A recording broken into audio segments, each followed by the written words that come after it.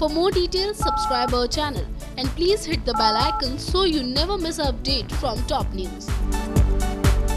Star Plus पर आने वाले थ्रिलर सीरियल नज़र से जुड़ी अपकमिंग डिटेल्स लेकर हम आपके बीच हाजिर हैं वेल अब तक की कहानी में देखने को मिला कि मोना अंश की मम्मी यानी वेदश्री को निशान पर पिया के खिलाफ भड़काती है और कहती है कि ये सब अंश के जहर का काट ढूँढने का नाटक कर रहे हैं। ऐसे में वेदश्री मोना की बातों पर विश्वास नहीं करती और वहाँ से चली जाती है। वेल, अब बात करें अपकमिंग एपिसोड की तो देखने को मिलेगा कि वेदश्री मोना की बातों में आकर अपने बच्चे अंश की जान बचाने के लिए पहुँच जाएगी दिव्या के पास, जहाँ दिव्या इंतज़ार कर रही होगी अंश का, यानी डायन वंशी का खून बहाने के लिए। और जब इस बात का पता घर के सदस्य को चलेगा तो वो समझ जाएँगे कि वेदश्री कहीं और नहीं, बल्कि दिव्या के पास ही गई है अंश को लेकर, जिसके बाद पिया और निशांत भी उनके पीछे पीछे पहुँच जाएँगे दिव्या के पास।